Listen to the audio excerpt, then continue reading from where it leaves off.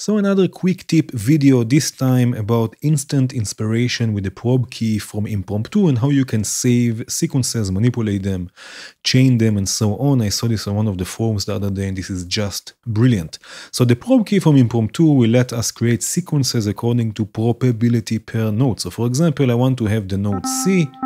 I want to have some probability that the note E flat will also happen, some for F, a bit more for G and some for B flat and this will generate like these sequences over and over.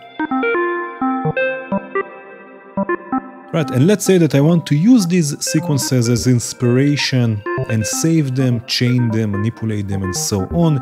So in all of the sequencers, or in most of the sequencers from Impromptu, there is the portable sequence option right? So I can basically copy this sequence. Let me mute this. By the way, the voice itself here is dark energy. So all I did is going to the right click menu, portable sequence, copy sequence. And now I can go, for example, to the phrase sequencer 32. This will work with the phrase sequencer 16 as well. And again, I can right click portable sequence and paste this sequence. And now this sequence, if I unmute this, let me take the delay down for a second. Right? We get a 32 step sequence that was generated by the probably key.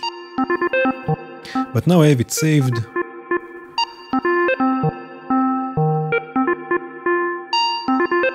Right, and now I can, for example, save another one. So if I go and I copy another sequence, I go to sequence 2 and paste it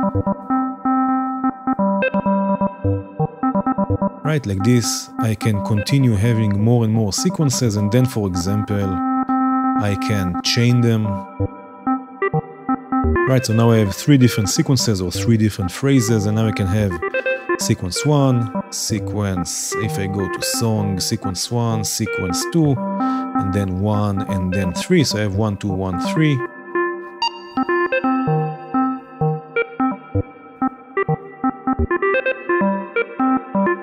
Right, so now I have a chain of four different or three different sequences in four different um, steps.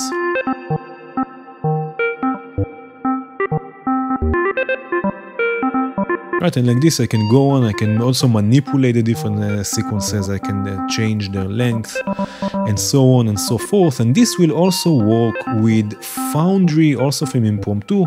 Foundry has basically four sequences, and you can also use it polyphonically. So for example, if I start copying more sequences, so this will be, for example, channel A, and I can have a different one for channel B, right? And like this, I can have four different variations, right? All coming from the probably key that it will by itself generate the sequences according to uh, the probability we set. Right, so I can copy this and now I have four different channels with different sequences and this I can use for chords for example, right? Bring back the delay here. I have the tap dancer.